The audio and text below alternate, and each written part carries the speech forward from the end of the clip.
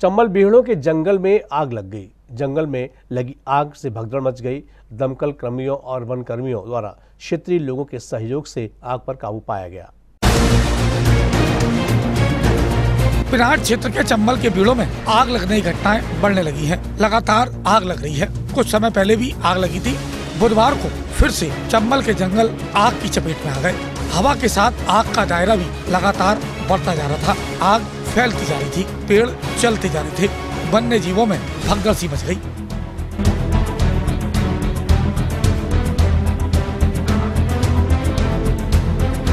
आनंद फानंद में वन कर्मचारी और दमकल कर्मचारी गाड़ी के साथ पहुँच गए।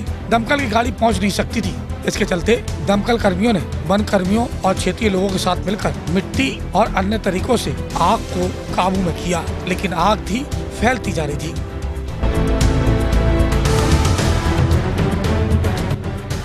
कड़ी मशक्कत के बाद दमकल कर्मियों और वन कर्मियों ने क्षेत्रीय लोगों के साथ आग को काबू में कर लिया। फ़िलहाल इस बात की जानकारी नहीं मिल पाई है, वन्य जीवों को कितना नुकसान हुआ है। लेकिन जिस तरीके से चंबल के बेड़ों में गर्मी से पहले आग लगना शुरू हो रही है, उसने खतरे की घंटी बजा दी है। ऐसे में एहतियात बरतनी होगी और बेड़ों में जाने वाले लोगों को आगाह करना होगा। अक्सर चंबल की बेड़ों में जाने वाले लोग बीड़ी सिगरेट का इस्तेमाल करते हैं, इसके चलते आग लग जाती है। पिनाट से अपने साथी नीरज परिहार के साथ राकेश कनौजिया सी न्यूज़ आगरा।